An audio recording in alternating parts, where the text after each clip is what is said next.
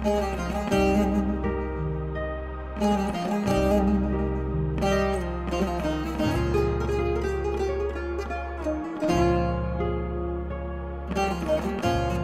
bu mektubu bir gece yarısında yazıyorum.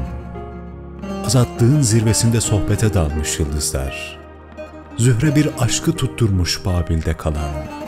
Zavallı dünya habersiz, zavallı dünya sağır. Bir Harut'la Marut, bir de ben dinliyorum.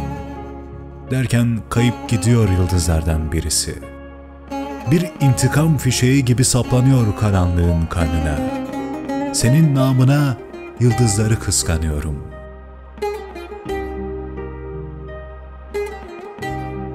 Kim bilir kaç ışık yılı uzakta öfkeyle kollarını çeviriyor yalancı fecir.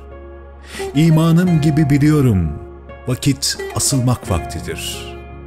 Ve Taksim gazinolarında trahomlu şairler mısra arıyorlar masaların altında. Kanını içiyorlar bilmeden cennet hatlarının. Ben yurdumun en sert tütününden bir sigara sarıyorum. Dumanı ciğerlerime değil, iliklerime çekiyorum. Ne kadar ürkek ceylan varsa Asya çöllerinde, Domaniç yaylasında ne kadar dizginsiz at, başlıyorlar koşmaya kılcal damarlarımda. Sıcak solukları yalarken alnımı, toynaklarını hissediyorum al yuvarlarımda. Sana bu mektubu evimin balkonunda yazıyorum. Sağ elimi koyuyorum tam yüreğimin üstüne. Çankaya yokuşunda söylediğimiz marşı duyuyorum.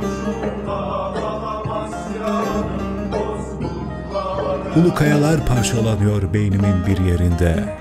Bir yerinde demirden dağlar eriyor. Atlas yelkenli gemileri unutmuş birkaç Levent, viski kokulu bulvarlarda yavaş yavaş ölüyor.'' istediğin o seccadeyi hemen gönderiyorum. Üstünde Kabe resmi ve anamın duaları var. Ve bildiğin sebeplerden ben gelemiyorum. Yine biliyorsun ki sevmedim ülküden başkasını. Başı dumanlı dağları, dolunayı, ufukları, bir de Çankaya yokuşunda rüzgara tutulmuş saçlarını. Önce Allah, sonra genlerim şahit. Sevgimi üç bin yıl sonra doğacak torunuma yolluyorum. Trahomlu şairler doğruluyorlar masaların altından. Elleri fahişelerin karanlık saçlarında.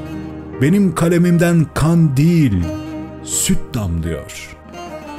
Geceler boyu böyle geleceği emziriyorum. Kahrolayım sevmedim ülküden başkasını. Bir de seni çok seviyorum. Bozkurtlar, başbuğlar, kükreyince söğütler, soluk yapraklar uçuşur, dökülür bir nefesler, soluk yapraklar uçuşur, dökülür